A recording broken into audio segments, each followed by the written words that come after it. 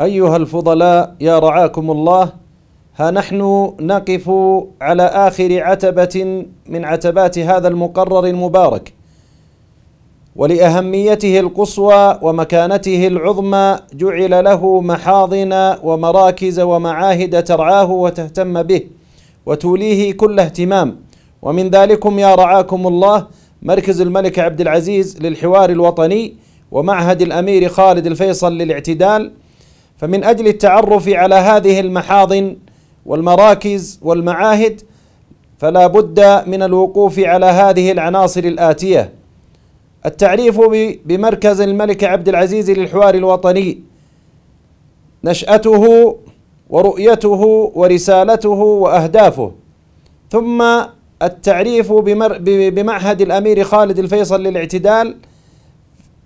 نشأته ورؤيته ورسالته والقيم وأهدافه. أما نشأة مركز الملك عبد العزيز للحوار الوطني فقد صدر أمر خادم الحرمين الشريفين الملك فهد بن عبد العزيز رحمه الله بإنشاء مركز بإنشاء مركز الملك عبد العزيز للحوار الوطني بالأمر الملكي رقم 339 تقسيم ميم بتاريخ 24 5 1424 أما رؤية هذا المركز فهو حوار بناء لوطن مزدهر. أما رسالته فهي تعتمد على تعزيز ثقافة الحوار واحترام الاختلاف والتنوع محافظة على الوحدة الوطنية وحماية النسيج المجتمعي من خلال التواصل الفاعل والشراكات المثمرة محليا ودوليا. أما قيمه فهي تعتمد على التسامح والمشاركة والشفافية والحياد والمبادرة أهداف هذا المركز يرسخ المركز ثقافة الحوار وينشرها بين أفراد المجتمع بجميع فئاته بما يحقق المصلحة العامة ويحافظ على الوحدة الوطنية وذلك من خلال عدة من الأهداف. أولاً ترسيخ ثقافة الحوار ونشرها بين أفراد المجتمع بجميع فئاته بما يحقق المصلحة العامة ويحافظ على الوحدة الوطنية. ثانياً مناقشة القضايا الوطنية من اجتماعية وثقافية وسياسية واقتصادية وتربوية وغيرها وطرحها من خلال قنوات الحوار من خلال قنوات الحوار الفكري وآلياته. تشجيع أفراد المجتمع ومؤسسات المجتمع المدني على الإسهام والمشاركة في الحوار الوطني الذي يليه الإسهام في صياغة الخطاب الإسلامي الصحيح المبني على الوسطية والاعتدال. الإسهام في توفير البيئة الملائمة لإشاعة ثقافة الحوار داخل المجتمع وضع رؤية استراتيجية لموضوعات الحوار الوطني أما التوجيهات الاستراتيجية فهي تقوم على تعزيز ثقافة التسامح والتعايش ثم المساهمة في تحقيق رؤية 2030 ثم بناء علاقة فعالة مع المؤسسات الإعلامية والتركيز على الإعلام الجديد مد جسور التواصل مع المؤسسات الدولية دعم المشاركة المجتمعية للمساهمة في صن في صن في صنع القرار والسياسات العامة. تعزيز إطار الشراكة مع الجهات الحكومية ومؤسسات المجتمع المدني حوكمة وإدارة المركز.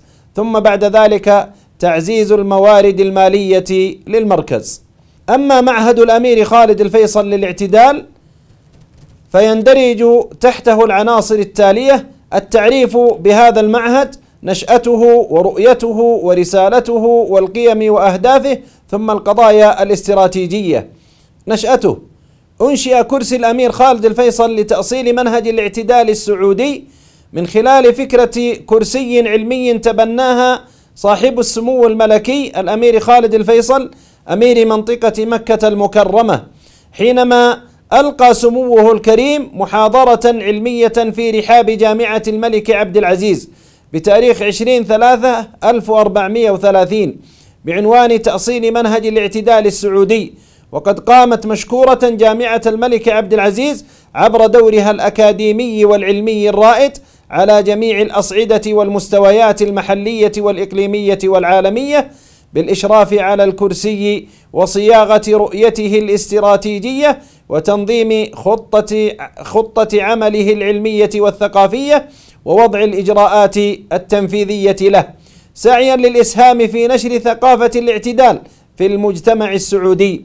وفي تاريخ 13 1437 صدرت موافقة صاحب السمو الملكي الأمير خالد الفيصل مستشار خادم الحرمين الشريفين أمير منطقة مكة المكرمة على تحويل هذا الكرسي العلمي إلى مركز في جامعة الملك عبد العزيز باسم مركز الأمير خالد الفيصل للاعتدال والتي كانت بمثابة حجر الزاوية لانطلاق لانطلاقه لانطلاق عمل المركز.